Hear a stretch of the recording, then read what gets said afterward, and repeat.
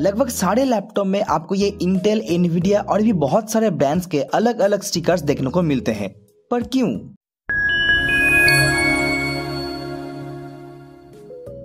जब भी कोई मैन्युफैक्चरर लाइक डेल एचपी कोई लैपटॉप बनाना चाहता है तो उन्हें OEM parts like CPU GPU वगैरह चाहिए होता है, जो दूसरे कंपनी लाइक इंटेल एनवीडिया ये सब बनाते हैं। और ये सब ओईएम कंपनीज़ मैन्युफैक्चरिंग कंपनीज़ को ऑफ़र देते हैं, या तो फुल पैसे देके पार्ट्स ले जाओ, या फिर थोड़ा डिस्काउंट में भी ले सकते हो। लेकिन इसके लिए आपके लैपटॉप में हमारा कंपनी का लोगो लगाना पड़ेगा। अब इनसे इंटेल एनवीडिया का ब्रांड प्रमोशन भी हो जाता है। और क्योंकि मैन्युफैक्चरिंग कंपनीज़ को कम पैसे लगता है तो अल्टीमेटली यूज़र्स का भी थोड़ा पैसा बच जाता है। सिर्फ़ माइक्रोसॉफ्ट सर्फेस बुक और एप्पल मैकबुक में कोई लोगो नहीं मिलता।